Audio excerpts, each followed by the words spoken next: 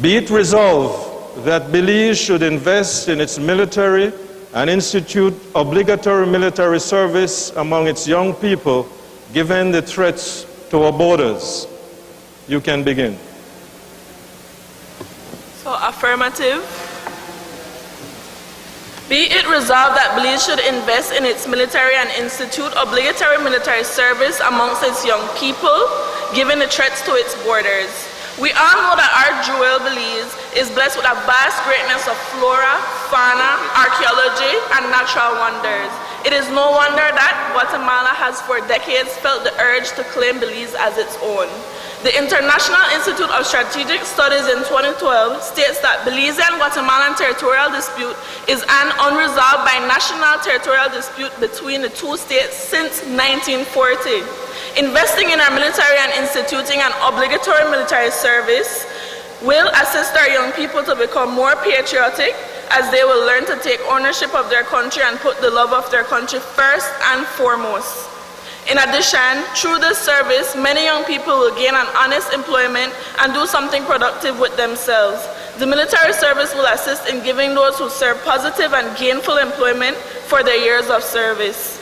Their years in the military will help them to gain skills, training, and education that they can take with them even after their service to become a more productive member of society.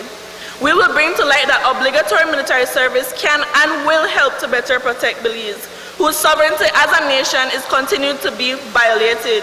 Deliberations will be introduced as to why it is of vital concern for Belize to invest in its military and why the implementation of obligatory military service is of necessity for the fact that Guatemalans are very persistent in continuing to engage in illegal activities in our crown jewel, it is a must for Belizeans and the government to see that it is important to act now on improving the military force and to also see why it is urgent to put pen to paper and institute mandatory military service amongst Belize's young people, given the threats from Guatemala's to Belize's borders. Ecumenical Junior College, your opening statement, two minutes. Wait, wait, wait. We don't- Negative. By way of introduction, I am Perla Martinez, along with my colleagues Harold Woolery and Kenroy Eligio. Resolve. Belize should not increase investment in its military, nor institute obligatory military service among its young people. Our national anthem opens with, O land of the free by the Carib Sea. But how truly free will we be if our government decides to implement obligatory military service, known in military terms as conscription? On July 9th of 2004, Joseph D. Purcell writes for the Chicago Tribune in his article titled Involuntary Defense. Conscription has no place in a free society. Any community that cannot acquire the service of enough volunteers to defend it in time of need but must instead resort to coercion in order to force its citizens into a condition of involuntary servitude does not deserve to exist. If we need conscription to preserve our liberty, then we are not really free. A truly democratic community should draw its defenders from a wellspring of free citizens, not a cesspool of slaves. It leads us to question why would Belize go forward with an undertaking such as this? Can our little nation afford this quote unquote investment? Do the incidents at our border warrant military response? The answer to these questions is no. We do not afford it. We do not afford to put our nation's young people, economy, or future at risk. My colleagues and I will substantiate that investing in conscription will be costly and not economically feasible for Belize. We will demonstrate how the occurrences at our border do not warrant military response and establish how disrupting Take off your mic, thank you. Okay, you've heard opening statements from both sides. Now is there was the point where the argument begins. Your argument should be presented in support of the position that you take in your opening statement. I will then now ask Independence Junior College, or I'll just say IJC and EJC. I will ask IJC to now present their first argument, and they have three minutes in which to do so.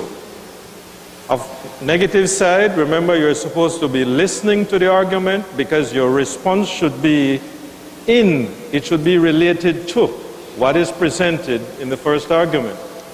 You will have two minutes to prepare your response and two minutes to present your response. IJC. My worthy opponents, Belize should institute mandatory military service among its young people due to the fact that the situation at the border is getting out of control and our 1900 soldiers need support. The Belize Territorial Volunteers leader, Mr. Wil Maheia, has been working towards trying to show Belizeans the importance of demarcating its borders. The group, though its various efforts at the Sarstoon, has shown some of the actions of Guatemalans taken against our Belizeans within our borders. Our Belizean bowlers hold a threat from Guatemala and we cannot deny this. With time, we have become more comfortable as Belizeans in believing that we have made peace with our neighbors. But very recently, Guatemalan new president, Mr. Jimmy Morales, has awakened all of our senses to make us understand that Guatemala is not our friend. In his book, A History of Belize in 13 chapters, Assad Shoman points out that Guatemala has made attempts to invade us before and there is possibility it might try again. In 1972, it was reported that Guatemala planned to invade Belize and in turn, Mexico in 1975 reported that if that happened, it would invade the northern part to preserve its right over the territory. Guatemala continues to bully Belize, and we have the proof to show you how urgent it is that we must increase our military presence at our borders. The Guatemalan newspaper, the Guardian newspaper, sorry, February 11, 2015, Guatemalans continue to encroach into Belizean territory. News 5, August 17, 2015, Guatemalan military attempts to thwart Belize volunteers' mission in Belize waters.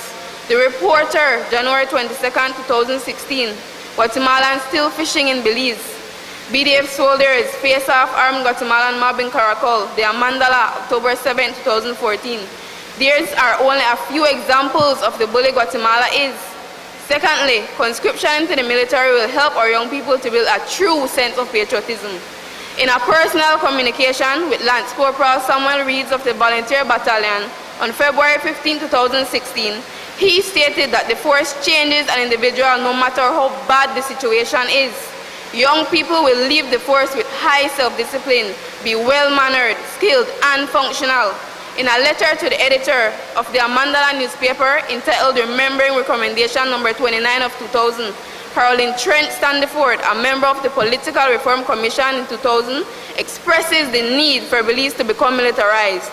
She also suggested for there to be a constitutional amendment to provide for mandatory military service for every Belizean because it is her belief that each citizen of this country should be constitutionally required to give a period of mandatory service to the Belize Defense Force. At this point, Belizeans do not see. Thank you. You now have. Yes, go ahead. If you want to it's okay.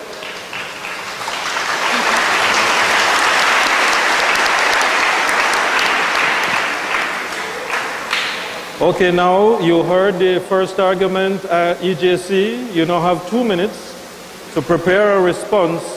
After the first two minutes are up, you will hear the bell, which means that you should, you will then have your two minutes to present your response.